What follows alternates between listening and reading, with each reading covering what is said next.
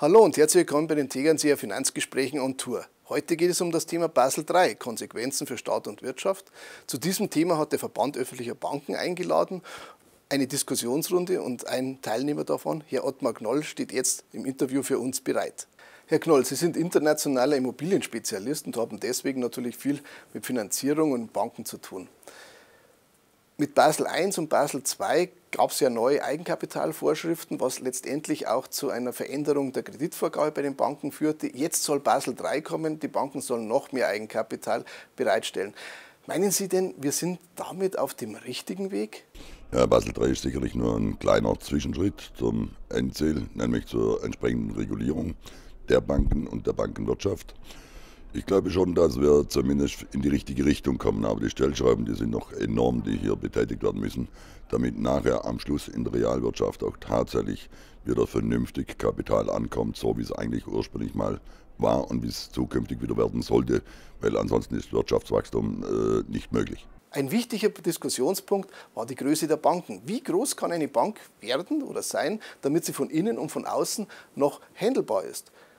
Herr Brinkhaus, CDU-Mitglied, hat das mit einem Kernkraftwerk verglichen. Sehen Sie das genauso? Ja, da habe ich natürlich eine zwiespältige Meinung. Im Rahmen der Globalisierung braucht man sicherlich auch Großbanken, das ist außer Frage. Aber im Allgemeinen äh, täte es der Wirtschaft sicherlich sehr gut, wenn die Banken nicht zu große Macht erhalten.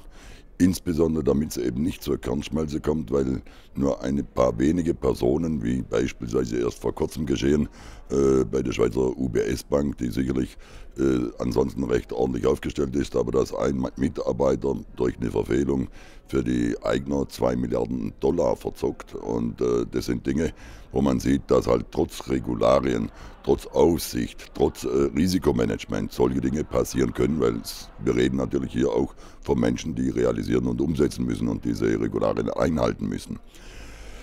Bei den Großbanken sehe ich das sehr differenziert und zwar in der Art und Weise, wenn wir von der Realwirtschaft ausgehen, dann hat das ja nichts mit Hedgefonds zu tun, das hat das eigentlich äh, nichts mit Derivaten im großen Stil zu tun äh, oder äh, das übrige Spielcasino, was die Finanzwirtschaft nun mal so zulässt.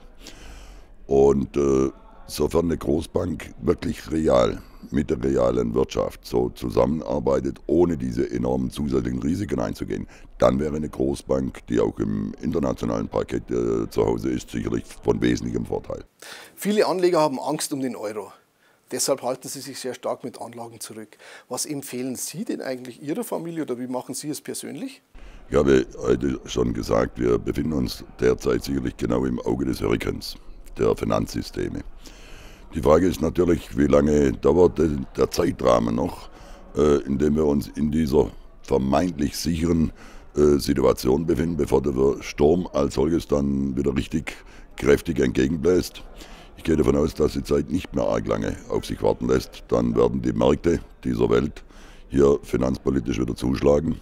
Und zwar in Größenordnung, wo dann unter Umständen der Staat eben nicht mehr rettend zur Seite stehen kann.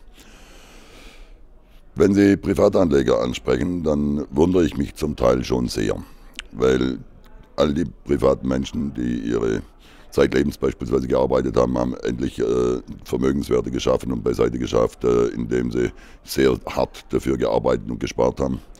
Und genau denen, die die Krise eigentlich maßgebend verursacht haben, werden derzeit das meiste Kapital anvertraut, nämlich den Banken. Ich glaube, es war ein großer Fehler, dass äh, die Politik so in diesem großen Stil eine Globalaussage gemacht hat, äh, wir stehen dazu, wir retten alle Banken, denn äh, das gibt zwangsläufig zusätzliche Verwerfungen. Selbstverständlich kann man sagen, systemrelevante Banken müssen wir stützen, weil sonst der Wirtschaft für die äh, Gesamtwirtschaft natürlich enorm groß ist.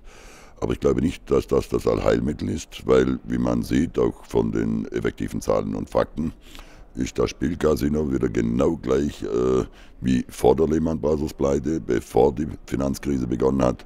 Und gerade speziell die Großbanken spielen wieder im ganz großen Spiel mit. Rund um den Globus mit enormen Zahlen. Und die Menschen haben jetzt dort genau ihr Geld gebunkert und anvertraut. Ich kann mir nicht vorstellen, dass das auf mittelfristiger oder gar langfristig eine gute Sache sein wird. Deswegen würde ich jedem empfehlen, äh, im Rahmen seiner Möglichkeiten eine vernünftige Streuung zu machen. Also Diversifizierung, das ist unabdingbar sehr, sehr wichtig, sich intensiver mal mit seinem Ersparten auseinanderzusetzen. Und ich würde nur in reale Sachwerte gehen, die er selber greifen, die er nachvollziehen kann, mit anständig vernünftiger Rendite, äh, weil ich glaube, dass er, wenn er auch längerfristig, wenn er heute noch zu einem günstigen Kurs einsteigt, was in Deutschland durchaus noch möglich ist. Man muss nicht unbedingt in Berlin oder in äh, München oder Hamburg kaufen. Es gibt durchaus prosperierende Städte mit äh, 100.000 Einwohnern und mehr oder in Ballungsgebieten, wo man noch zum vernünftigen Kurs beispielsweise eine vermietete Immobilie kaufen kann, wo man genau weiß, dass die nächsten Jahrzehnte äh, sicherlich sehr, sehr gut sind durch Zuzug äh, weg vom Land hin zur Stadt, weil bessere Versorgung, Demografieproblem kommt auch auf uns zu, dann wäre man dort sicherlich vernünftig gut aufgestellt. Herr Knoll, vielen Dank für das Interview. Danke. Ja, und Ihnen vielen Dank fürs Zusehen. Bis zum nächsten Mal bei den Tegernseer Finanzgesprächen.